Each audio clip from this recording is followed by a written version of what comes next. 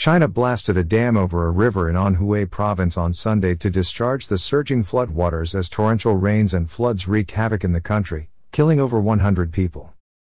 The dam on the Chuhe River, a tributary of the mighty Yangtze River, was destroyed with explosives to ease the flood control pressure in the river basin, state run CCTV reported. Water levels on many rivers, including the Yangtze, have been unusually high this year because of torrential rains. The Three Gorges Dam on the Yangtze last week opened three floodgates as the water level behind the world's biggest dam rose more than 15 meters above flood level. Last week, official media reported that over 140 people were killed or missing since June, 37.89 million have been affected and over 2.24 lakh people relocated as China faced flood catastrophe with 433 rivers were on spat.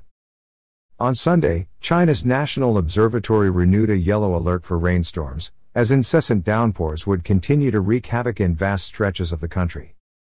From Sunday morning to Monday morning, heavy rains and rainstorms are expected in parts of Tibet, Yunnan, Guizhou, and Guangxi, among other regions, the National Meteorological Center said, warning that some areas of Jilin, Liaoning, and Anhui will experience downpours with up to 150 millimeters of daily rainfall.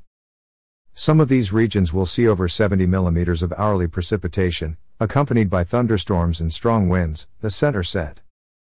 The center advised local authorities to remain alert for possible flooding, landslides, and mudslides, and recommended halting outdoor operations in hazardous areas.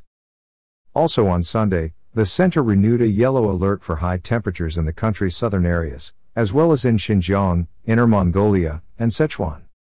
Parts of Zhejiang, Fujian, Jiangxi, Guangdong, Guangxi, Hainan and Xinjiang will see temperatures range from 37 to 39 degrees Celsius and even exceed 40 degrees Celsius on Sunday.